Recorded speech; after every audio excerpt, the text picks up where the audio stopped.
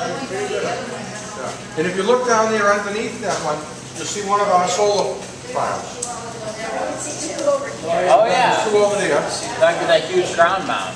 Yeah.